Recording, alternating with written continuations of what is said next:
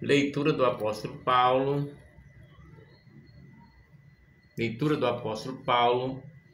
1 Timóteo 1, de 1 a 2, de 12 a 14.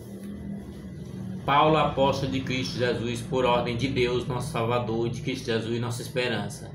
A Timóteo, verdadeiro filho na fé. A graça, a misericórdia, a paz de Deus, Pai de Cristo Jesus, nosso Senhor. Agradeço aquele que me deu força.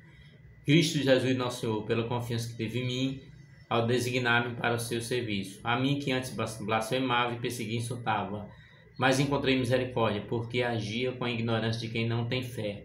Transbordou a graça de nosso Senhor com a fé e o amor que há em Cristo Jesus.